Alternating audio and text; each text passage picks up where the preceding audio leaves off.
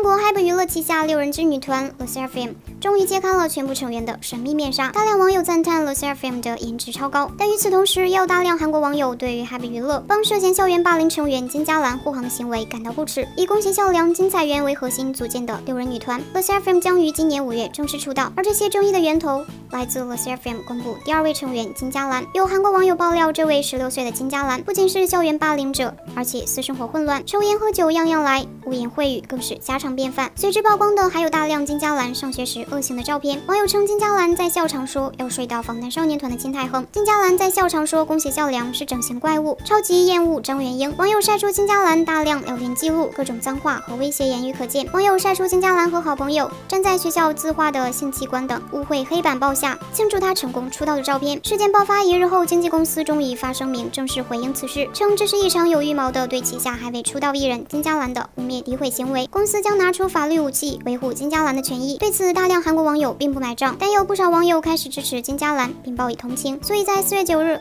，The SSERAFIM 成员公布完毕，大量网友赞美 The SSERAFIM 还颜造型支持，但也有大量韩国网友纷纷留言抵制，要求 HYBE 方面换掉金嘉兰。在这种背景下，The SSERAFIM 出道前的宣传热度是足够了，但是这种黑红起来的热度，不知道对在五月即将出道的 The SSERAFIM 带来什么样的后果？爱的韩社每日解说最新韩语，欢迎点赞和订阅哦。